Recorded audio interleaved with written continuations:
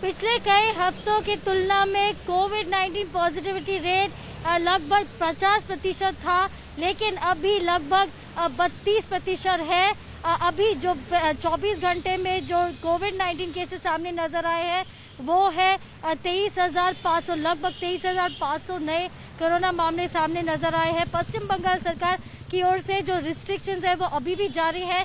Night curfew भी जारी है पश्चिम बंगाल में। जिनको कोविड 19 के सिम्टम्स है उनको एडवाइस किया गया है घर में आइसोलेट करने के लिए और टेस्टिंग बढ़ाने की व्यवस्था भी की गई है जगह जगह में। कैमरा पर्सन प्रवीर विश्वास के साथ प्रेमा राजराम, कोलकाता आज तक।